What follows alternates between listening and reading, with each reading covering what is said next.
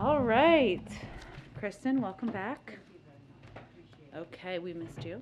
Um, a couple of items for you all at the top. Uh, I know there were some good questions yesterday about the status of the infrastructure law implementation, so I just wanted to bring you a few updates that are hopefully helpful to all of you. Uh, in the 79 days since the bill, the law was signed, our team has hit the ground running to get money out the door, engage partners, and provide comprehensive resources to help municipalities unlock funding opportunities so no community is left behind.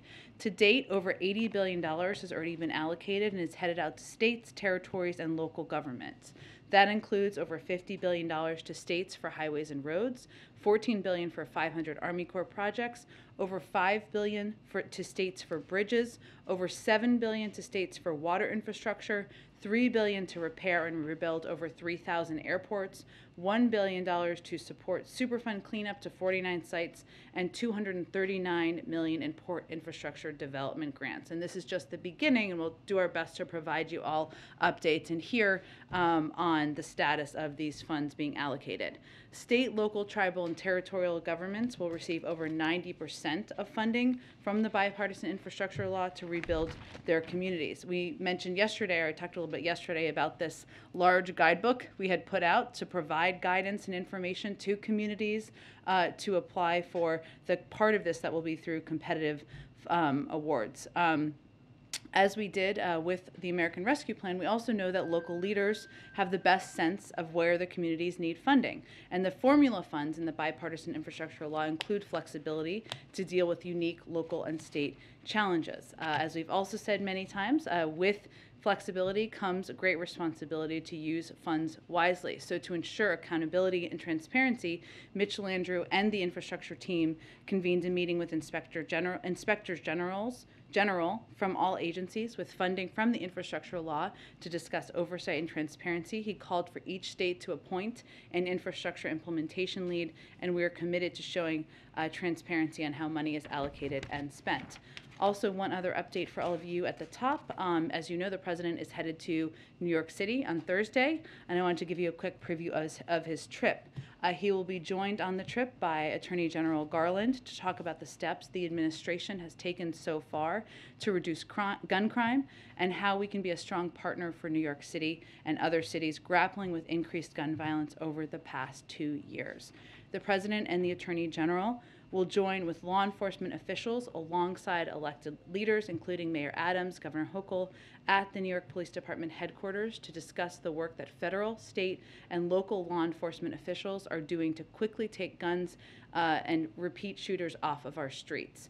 Afterward, President Biden, Attorney General Garland, Mayor Adams, Governor Hochul, and other elected leaders will visit with community violence intervention leader, leaders in Queens to talk about the community led work to interrupt gun violence.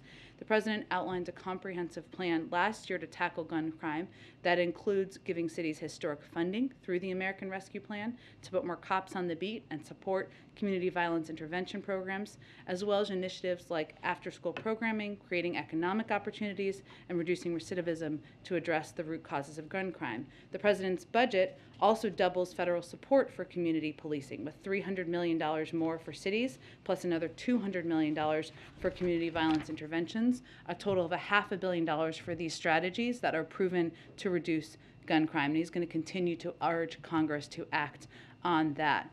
Finally, the Department of Justice continues to step up their efforts to combat violent crime and gun trafficking, including through five strike forces launched last year in New York City and other regions. As the Department of Justice reported just last week, those efforts have resulted in thousands of guns and violent criminals being taken off the streets over the past year. But they will, of course, have more to say on Thursday. Why don't you kick us off?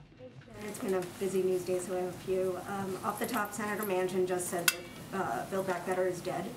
Was the White House aware that he felt this way, and what's the path forward for some of those Democratic priorities? Well, as you know, as a policy, we're not going to get into private conversations we have with Senator Manchin or any other senators about this uh, this piece of legislation uh, or our efforts moving forward. What I will note, and where there is strong support moving forward across the Democratic caucus, is on taking steps to lower costs for childcare, for health care, for elder care, on making sure that Medicare can negotiate the cost of prescription drugs, and ensuring the tax system is fair. Whatever you call that, there is strong support for that, strong passion for that, a lot of advocacy for that, and there are a lot of members having continued conversations about it. And then Russian President Vladimir Putin just said today that the U.S. is ignoring its top security demands, but that Moscow is still open for more talks. Um, Is the U.S. open to more talks? If not, what is the step forward with uh, respect to Russia? Absolutely, we are. Um, the door to diplomacy remains open. Uh, we don't know uh, what decision President Putin will make. Um, while we've seen the buildup of troops on the border, uh, Secretary, our Secretary of State Tony Blinken uh, just spoke this morning with Foreign Minister Lavrov, um, and he reiterated uh, our commitment and openness to a diplomatic path forward. Uh, let me give you a little bit more of a readout of that, and I can give you more of an update of some of the other conversations we've been having um, with a range of counterparts as well. Um, so Secretary Blinken, I know the State Department did a bit of a, a background call on this, but let me give you some highlights. Um, the Secretary emphasized the U.S. willingness bilaterally and together with allies and partners to continue a substantive exchange with Russia on mutual security concerns, which we intend to do in full coordination with our partners and allies. He reiterated the United States' commitment to Ukraine's sovereignty and territorial integrity, as well as the right of all countries to determine their own foreign policy and alliances. He also urged immediate Russian de escalation and the withdrawal of troops and equipment from Ukraine's borders, and was clear that further invasion of Ukraine would be met with swift and severe consequences, and urged Russia to pursue a diplomatic path. Our National Security Advisor, Jake Sullivan, also met with his German counterpart today as part of our regular consultations with our allies and partners. But certainly, the door to diplomacy remains open. As we've said many times, uh, de escalation will, of course, make that diplomatic path easier moving forward. More on HHS. Uh, last week there was a GAO report warning that HHS may not be prepared for a future pandemic and that it had fallen short in a number of ways in this pandemic. There have also been reports about uh, White House officials being frustrated with Secretary Becerra's leadership. So does the president still have confidence in Secretary Becerra and has he talked to him about any changes he might want to see at HHS or about his leadership of the department? Well, you know how we feel about anonymous sources around here. Um, experts that are publicly criticizing the way From, HHS has. from within the government, I'm, I'm referring to. Uh, I would just reiterate that the president uh, remains confident in the role of Secretary Becerra. He is somebody who is an important partner. Um, he has been leading uh, a range of efforts uh, from the Department of Homeland Security. Um, I mean Homeland Security, uh, the from the, the Department of Health and Human Services, um, and we have strong partnerships uh, from the very top down with HHS. Uh, we're less focused on, not at all focused, I should say, on palace intrigue as much as we are on vaccinating more Americans, uh, fighting the Omicron surge, expanding testing capacity, and getting more therapeutics out to the American people. And that's how we believe uh, we and the leadership of the cabinet will be judged. Go ahead. A a couple of follow-ups here. On Ukraine, we've seen some of the major European allies talking directly with Putin. Uh, Emmanuel Macron has spoken with him twice. The Italian Prime Minister has spoken with him. Boris Johnson is now traveling to Ukraine. Why not have the president have a, you know, take more direct involvement like some of these uh, other allies are? Well, the president remains certainly open to that if there's a determination that that is uh, the appropriate and con- most constructive step moving forward. Um, we also have a very uh, active and engaged Secretary of State who has had a number of conversations with his counterpart, including this morning. Um, and that's the channel that those conversations are happening through at this point, as well as at many other levels, I should say. And, and on the question about uh, Senator Manchin, he also said that no one's reached out to him. He hasn't been having talks about trying to do this in chunks, as the president ha- has suggested maybe the path forward. Why not? I'm not going to outline from here conversations that we are having with a range of senators and a range of senators are having with each other. But I can assure you we've been in touch with and has uh, with every member of the Democratic caucus.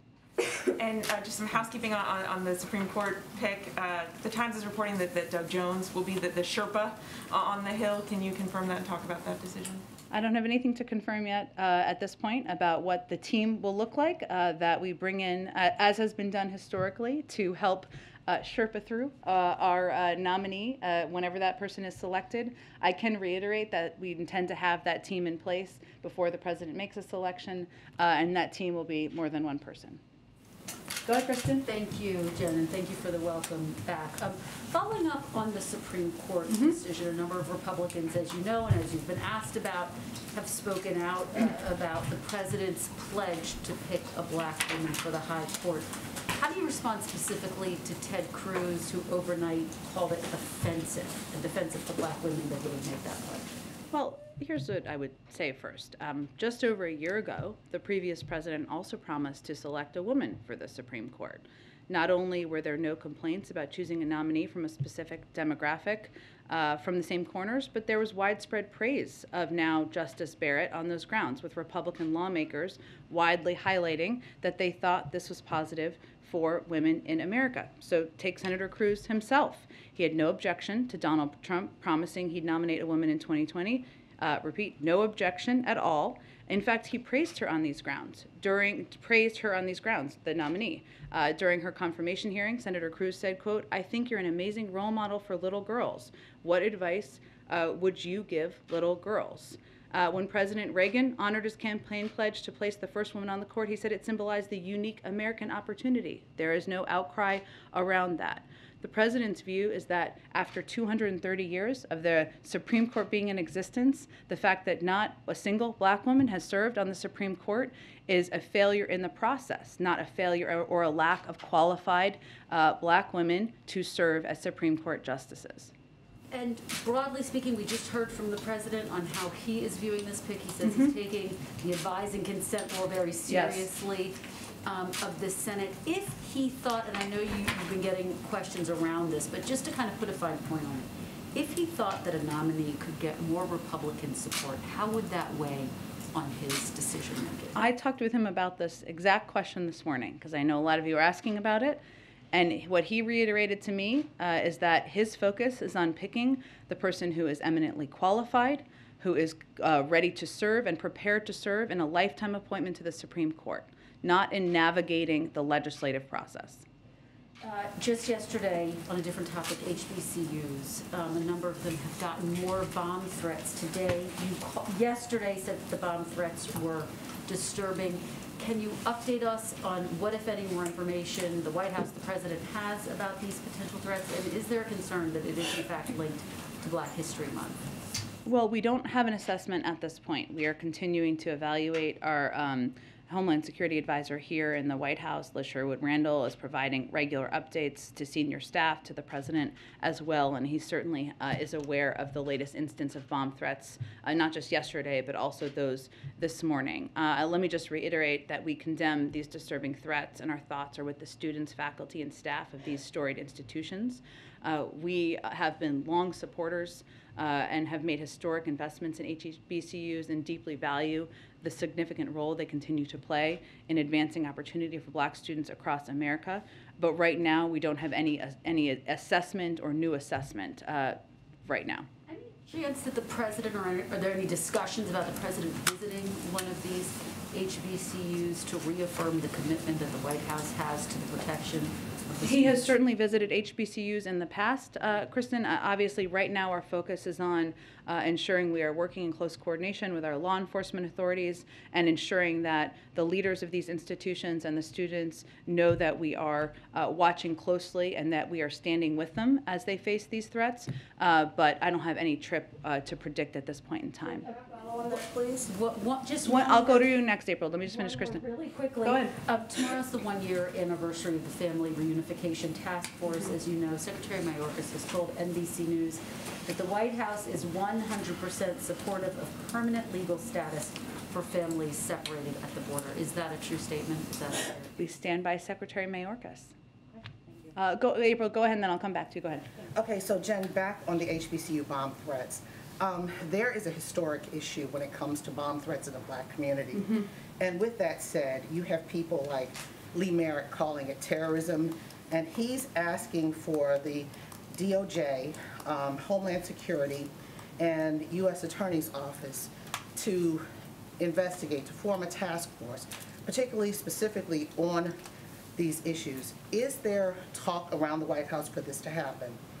Well, what I can tell you, April, is that we take these threats uh, incredibly seriously. Uh, that again, our uh, Homeland Security advisor is in close touch with law enforcement authorities at a federal and local level, and we are assessing what we think the uh, origin, uh, the reasoning, the motivation behind it is. We don't have an assessment of that quite yet, and I don't want to get ahead of that process. But we absolutely are behind these HBCUs. We are uh, want to make very clear uh, that we take these threats seriously and we deeply value their contributions. But it's important uh, for for law enforcement authorities and others to, to make an assessment before we make any determinations about next steps. And does the White House see the irony in this moment with these continued bomb threats of HBCUs, particularly as much of the power structure up and down Pennsylvania Avenue are graduates of HBCUs, starting with the vice president, Howard University, um, Cedric Richmond Morehouse, Joyce Beatty, the head of the CBC, um, Central State, the House Whip, James Clyburn, South Carolina State. So is there irony in this moment? I'm not sure I would say, call it irony, uh, April, but I, I would say that it is, um, it is, it is scary. It is horrifying. It is um, terrible that these students, these faculty, these institutions are feeling under threat. Now, again, we don't know more details at this point in time, and I don't want to get ahead of law enforcement authorities, but um, but certainly, given the history you referenced, um, you know, this is something we're very uh, mindful of, and uh, that is why we're so focused on providing regular updates and seeing what our law enforcement team assesses. Lastly, on the policing executive orders, um, Reverend Al Sharpton says that there's now a move to break apart uh, the George Floyd Justice and Policing Act for standalone pieces that could possibly uh, go up for a vote and one way or the other pass or fail. Um, And they're doing that because the executive orders don't have as much teeth as a law. What do you say to this um, effort to break apart the George Floyd Justice and Policing Act and make, make each portion a standalone bill?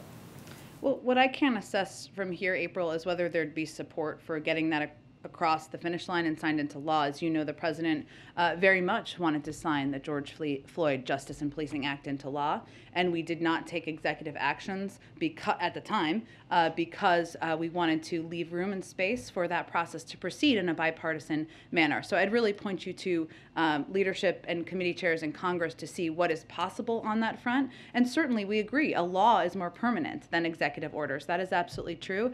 Uh, but we have not even finalized, um, nor do I have a preview of exactly when it would be uh, a, a police uh, a police reform executive order. So I would also encourage people to wait to assess what that looks like. Go ahead, Weijia. Thank you, Jen. Um, Back to the Supreme Court. I know Sure. the president said he wanted to seek the advice of the Senate in addition to consent. Is there anything you can share about his conversation with Senators Durbin and Grassley and whether he shared his list of potential candidates with them? Well, I, I think they were still meeting when I came out here, or, or I had not spoken with him yet, as, as if it was breaking. Uh, so I've not gotten a rundown from him quite yet. Um, I, I think he wanted to have an open and engaging conversation with them.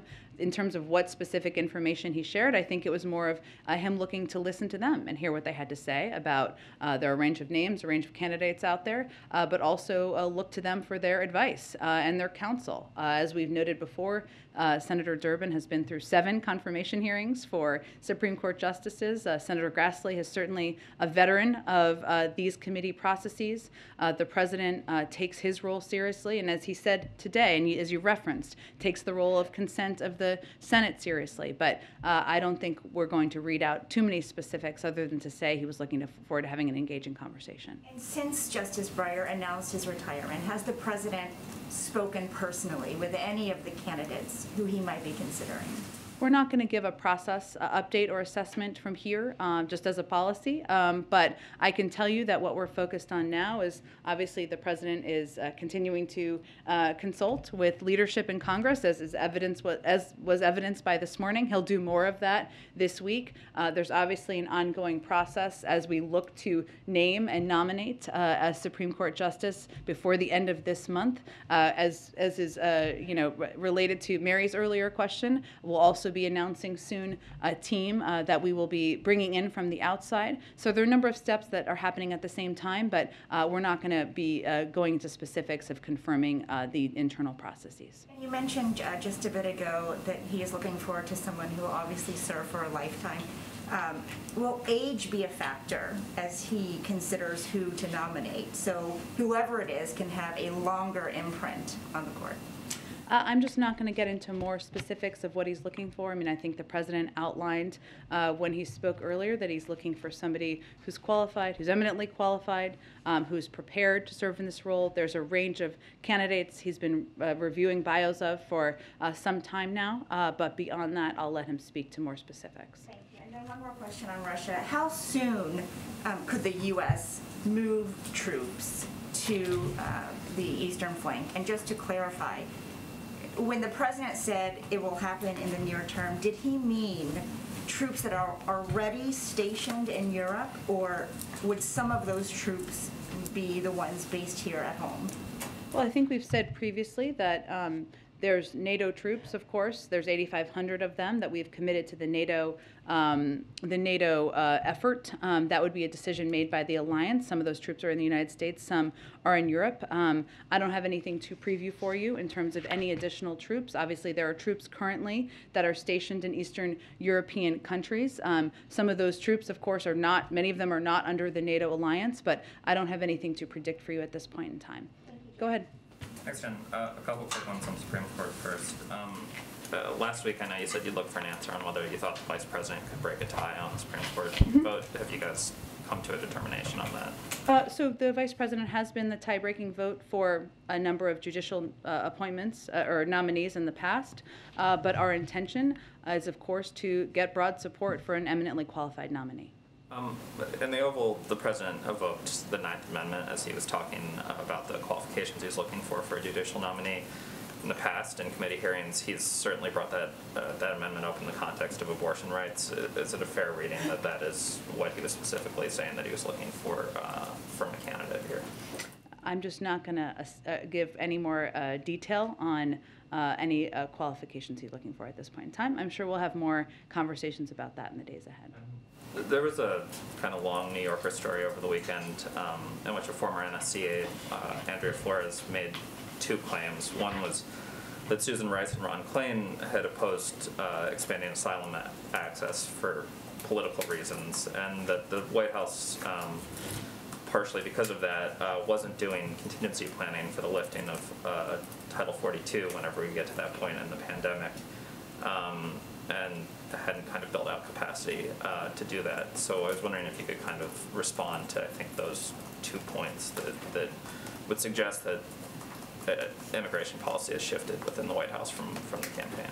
Well, uh, what I can tell you is that um, I, I did not work with uh, Andrea Flores, um, uh, so I don't know her well, nor can I speak to her role here. But um, that our policy as an administration has been entirely consistent with what the president committed to on the campaign. Uh, and his effort has been to build a, a fair, humane, and lawful immigration system and bring it into the 21st century. Hence, he obviously proposed uh, an immigration bill on his first day in office. And beyond that, he has taken steps to protect DACA recipients, ended the Muslim ban and the public charge rule, put together the Family Reunification Task Force, restarted the Central American Minors Program that the previous administration ended, extended or newly, desi- newly designated temporary protected status for a number of countries, and worked with DHS to give clear guidance for internal enforcement. It's also true that we're still in the midst of a pandemic, and that is not something, of course, as we've talked about here a bit in the past, that everybody anticipated still being at at this point in time. Uh, the CDC is obviously the determinant of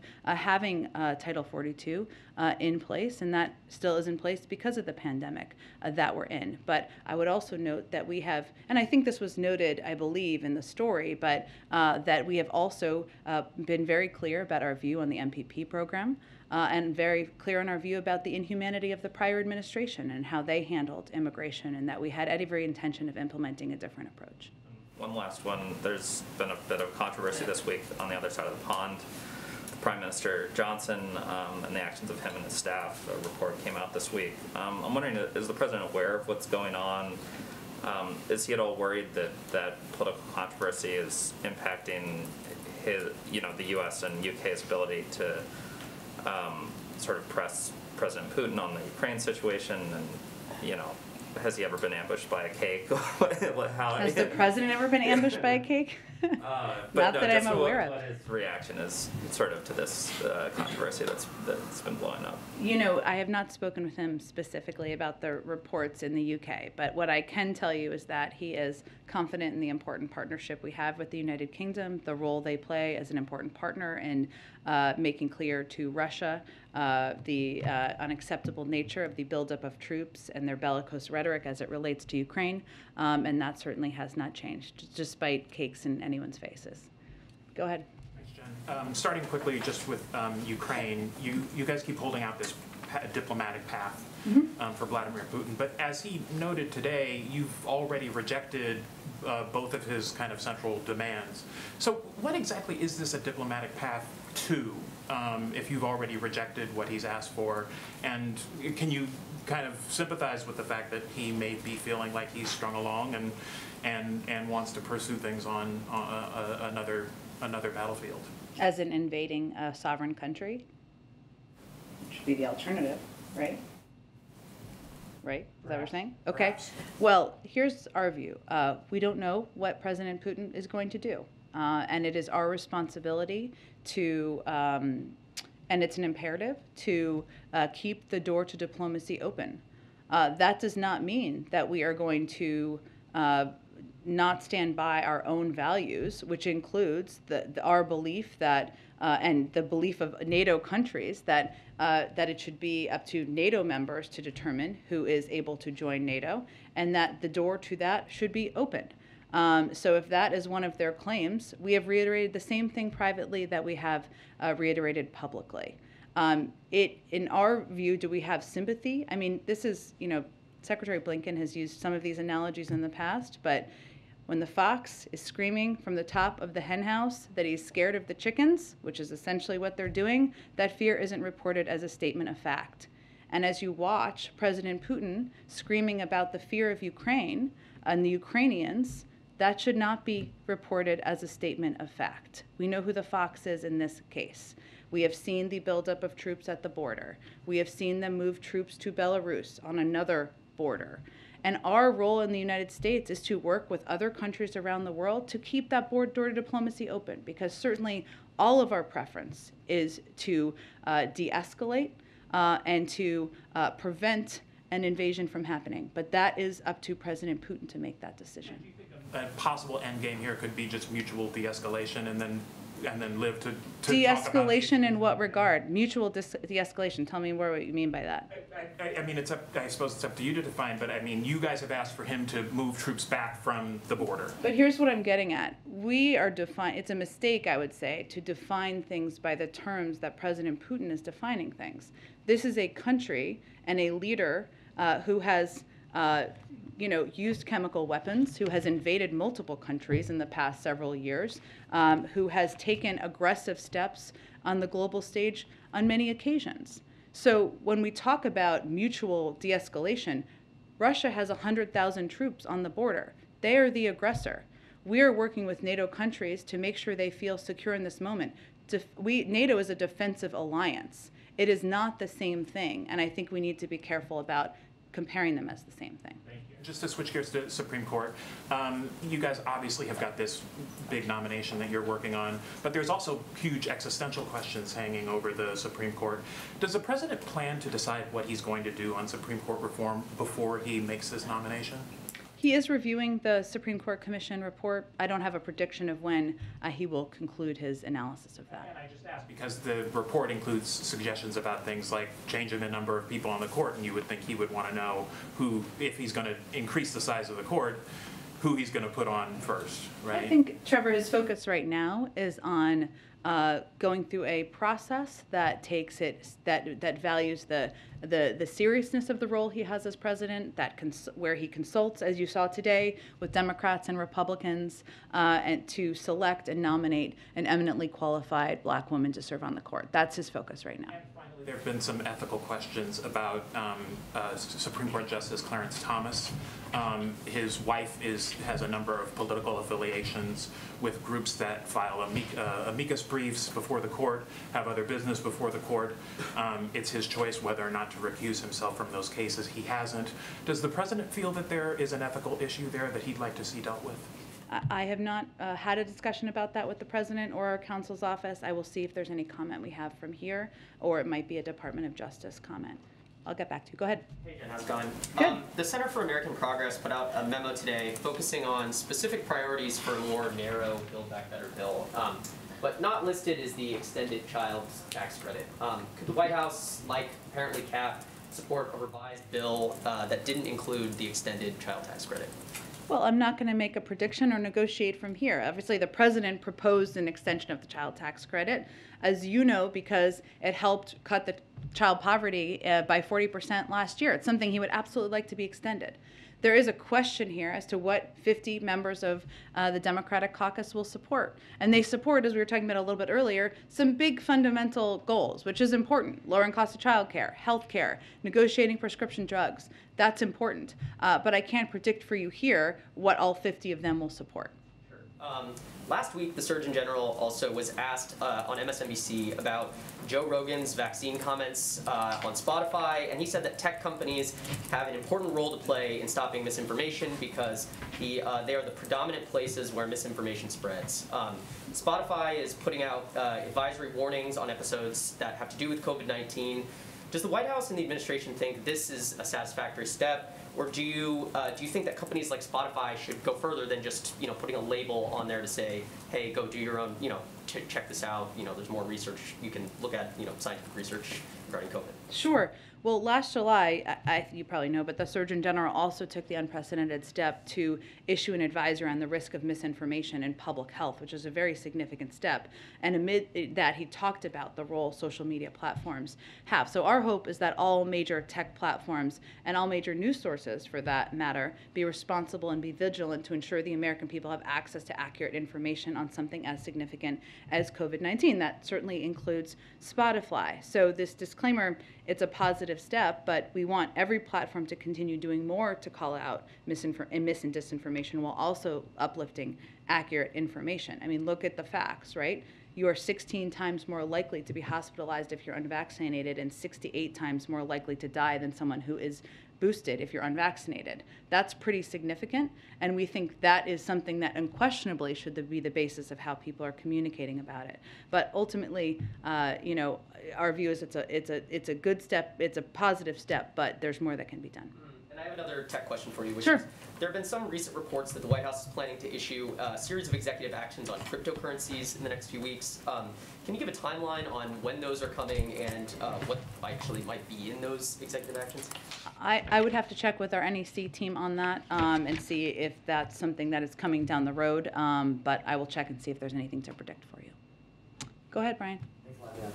Thanks a lot, Dan. I wanted to first uh, follow up on something you said about the Supreme Court process. Sure. You said that President Biden has been uh, looking at bios for some time now. How long has that been, that he's been looking at bios of of potential candidates? Since last year?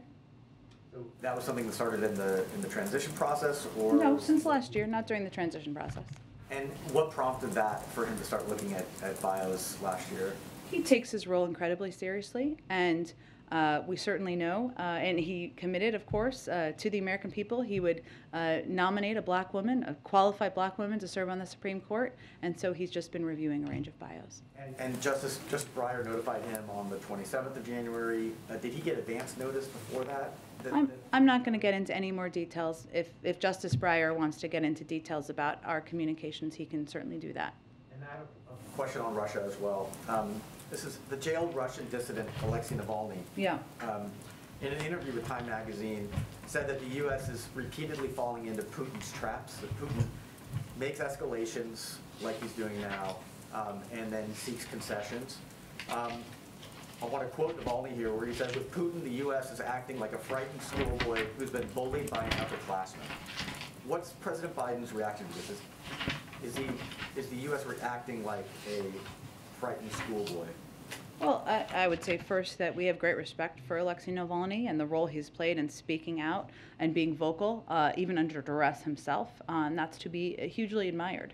Uh, I think the, the, the president's actions, the administration's actions that have been broadly supported in a bipartisan manner speak for themselves. Whether it's our engagement and leadership on the global stage, having more than 200 engagements, leading an effort to have a unified front, and making clear about the se- severity of economic consequences there will be should Russia decide to invade, or whether it is making clear that we are going to continue to stand up for what is a global value, which is the fact that no country should be able to invade another country and take their territory. Uh, I'll let others define that. I don't think that's a frightened schoolboy.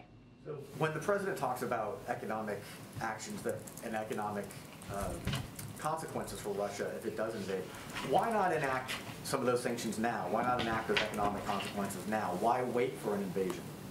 Well, we have enacted some sanctions, um, but I would say that we think it's an important point of leverage in the discussions. Go ahead. Thanks, Jen. Um, To clarify something you said earlier about the BBB talks. Yeah. You know, to the extent that you're going to tell us about them. Um, You said that, you know, rest assured the president, uh, you said, "We've been in touch with every member of the Democratic caucus. We've been in touch." We and the White House. So that's the the Ledge Affairs team mainly and Um, the, What the Ledge Affairs team and senior members of the White House, we're just not going to detail more specifics. you can't say if the president has been involved personally in any of the conversations with. The president has talked to a range of senators, he always does. Um, On the Ukraine-Russia stuff, Mhm. any plans in the works for another conversation between the president and President Zelensky? He has talked to him a couple of times in the last few weeks, and we've been in regular um, contact. We also are in very close contact from Jake Sullivan's level and Secretary Blinken's level. Uh, so certainly it's possible. We've been in regular touch, but I don't have any call to predict at this point. He just talked to him a couple days ago. One other question, today obviously is the start of Black History Month, the president issued a couple tweets about that. Yeah. I wonder um, what the administration, the president's response is to uh, what has been happening in Texas and other states where a number of books uh, have been banned by school districts. Uh, These are generally books that have focused on slavery, on Jim Crow, on civil rights, even on the Obamas. Um, Does the White House have a position on the books that are being banned by these local school boards? I have not discussed this with the president, but I can tell you that as an administration, uh, we believe in the freedom of speech and expression, and uh, certainly uh, we have never been advocates of preventing people from understanding and reading history. Does the president plan to do more to recognize, commemorate, uh, commemorate Black History Month this month? Absolutely. Let me see if we can get you some more details. Go ahead. Good afternoon, Jen. A couple of Good questions for you. Back to the Supreme Court. Sure. How will the debate over abortion shape the president's selection process? The president is going to select an eminently qualified black woman to serve on the court. Uh, someone, and he's going to do that through consulting with a range of members of Congress, through outside experts, uh, and obviously through engagement with them directly. But uh, I don't think I'm going to give you more specifics from here. That person, will that person have to be pro-abortion? I think somebody asked a similar question. I'm not going to outline litmus tests from here today. Following up on that, the president has said in the past he does not believe that life begins at conception. When does he believe it begins? You know the president's position. He believes in a woman's right to choose, and he's spoken. He's spoken to this in the past, so and I know you ask this every time you come in here, which is you're you're absolute right, but I don't think I have anything new to reveal for you. The question is, when does he believe life begins? And it's central to the debate over the question of a baby's viability. And pro-life Americans, don't you agree, should know where the president stands in his thinking on this. It's a fundamental question. The president believes in a woman's right to choose. When Go ahead. I think we're going to move on unless you have another question. Uh, go ahead. have another question. One more. Go ahead. Okay. Following up on the, the question for the, on the uh, expanded child tax credit. Yep. You have said time and again that this has taken lots of kids and families out of poverty. Yeah. A tremendous success there. Yeah.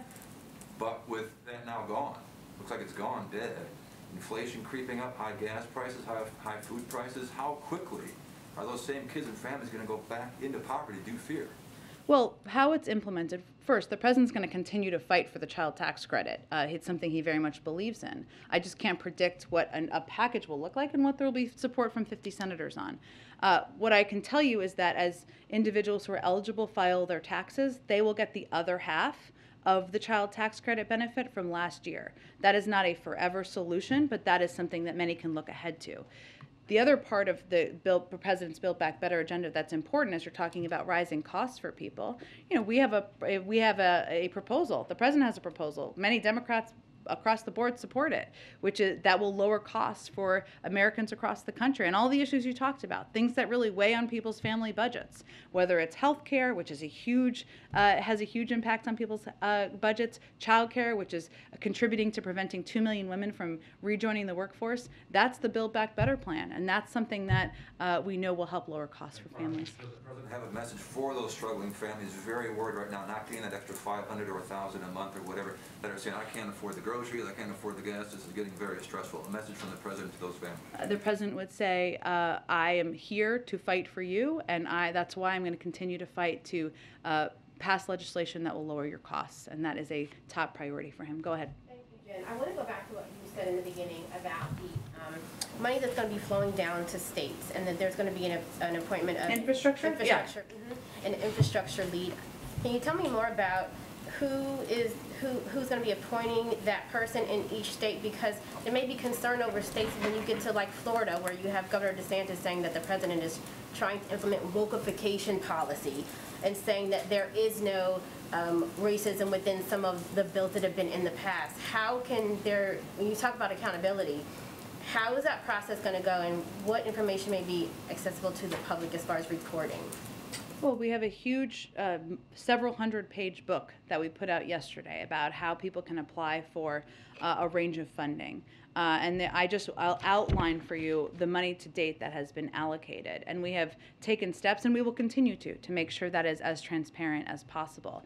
Now, some of these, the funding in this package, uh, as I mentioned, 90% of it will go to local, tribal, and territorial governments. Uh, so that really gives the opportunity for a range of leaders to apply for funding. And the book is meant to give them the information and access they need so they don't have to hire lobbyists to do that, so that they can do that on their own. And we're doing that in part to ensure that equity is at the central, uh, as central to uh, how we're implementing this bill.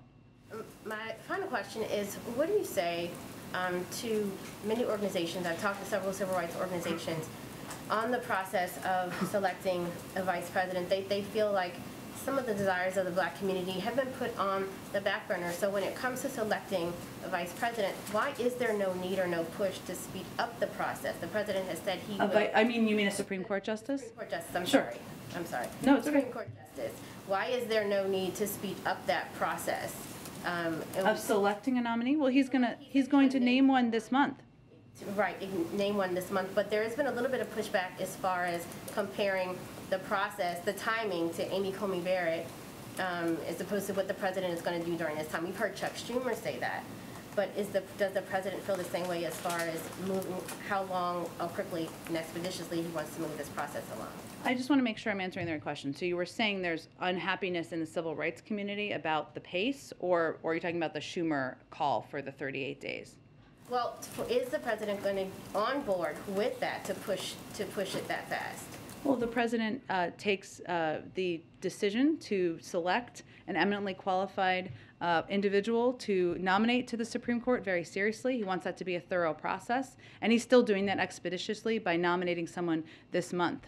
Um, and he wants, of course, the Senate to move forward expeditiously, but we're not setting uh, artificial deadlines beyond that. Go ahead in the back. Okay. We usually have two more, so let me get to them quickly. Go ahead.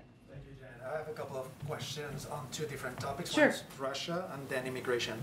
On Russia, I know the president has uh, spoke with the Emir of, of Qatar regarding uh, the role of that country exporting natural gas to uh, the European Union. Mm-hmm. But is the U.S. considering increasing its role as a natural gas exporter to the European Union to serve as an alternative to Russian gas? Uh, we are having a conversation with not just countries, but also uh, suppliers uh, about how to help meet uh, any shortage of natural gas uh, that could come about if, uh, if there's an invasion. Also on Russia, since Ukraine is not a NATO member, um, according to the North Atlantic Treaty, NATO cannot really respond militarily to Russia in Ukrainian territory. Um, but are U.S. unilateral military actions on the table to support Kiev? You mean sending U.S. troops to Ukraine? No. Okay, no. And on the other topic that I wanted to ask real quick, um, this administration is now sending Venezuelan migrants arrested at the U.S.-Mexico border to Colombia under Title 42.